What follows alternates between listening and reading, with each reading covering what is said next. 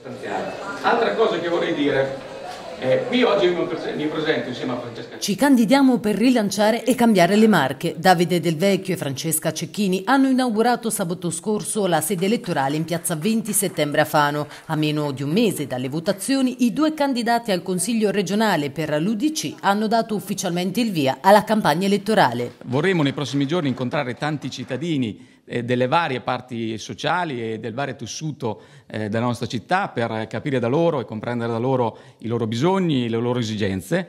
Eh, vorremmo confrontarci, quindi sarà un luogo aperto questa sede. Eh, noi vogliamo andare a cambiare le marche. Ecco, cambiamo le marche, il nostro slogan. Vorremmo andare a fare qualcosa di più per questa regione che per troppo tempo è stata lasciata all'abbandono dalle istituzioni eh, all'interno del comparto sanità, delle infrastrutture, eh, del rilancio dell'economia, che sono eh, politiche assenti nel centro-sinistra. Il percorso per cambiare la regione inizia oggi, ha proseguito Del Vecchio, che ha elencato le priorità e i temi sui quali si batteranno. UDC, ha precisato Cecchini, ha come fondamento la famiglia e questo periodo di emergenza sanitaria ha messo in evidenza le tante lacune nel settore del sociale. Le famiglie sono lasciate in totale abbandono e tra le quattro mura domestiche succede di tutto, quindi chi ha figli disabili, con disabilità, persone eh, non autosufficienti, eh, relegate dentro le quattro mura domestiche eh, fanno fatica a, ad andare avanti e quindi eh, è necessario dare un supporto mh, alle famiglie che non sia solo un sostegno esterno,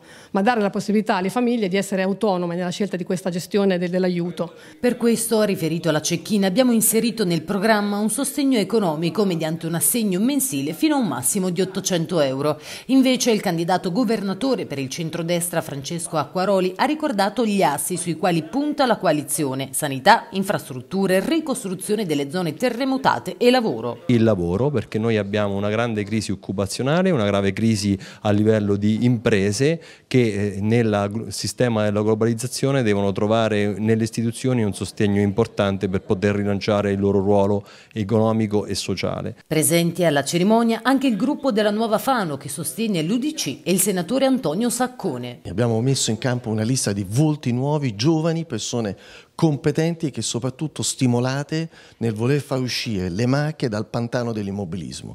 Vogliamo puntare soprattutto sulle infrastrutture, per noi democratici cristiani i lavori pubblici sono un volano dell'economia e vogliamo puntare l'attenzione sulla sanità, che oggi è troppo sviluppata sul settore del privato e poco sul settore pubblico. Nelle Marche per avere un esame diagnostico bisogna aspettare all'incirca nove mesi e per noi democratici cristiani è intollerabile. Cosa che va oltre? Eh? Brindiamo a noi! A noi.